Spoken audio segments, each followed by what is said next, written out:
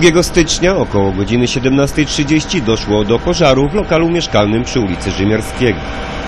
Na miejsce zdarzenia zadysponowano trzy zastępy jednostki ratowniczo-gaśniczej Państwowej Straży Pożarnej. Strażacy w krótkim czasie ugasili ogień.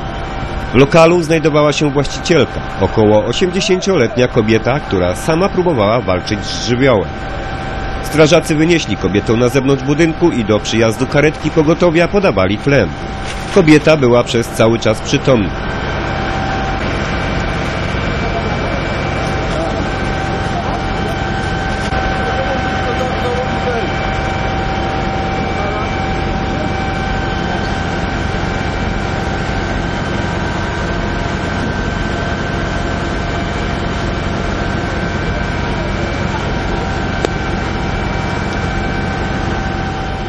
Na czas akcji droga została całkowicie zamknięta dla ruchu drogowego przez policję, która wspomagała strażaków.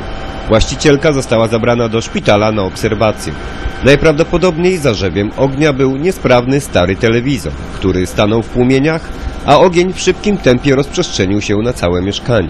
Na miejsce zdarzenia przybyła także służba energetyczna oraz gazowa w celu odłączenia mediów, które mogły przyczynić się do dalszego rozprzestrzenienia ognia.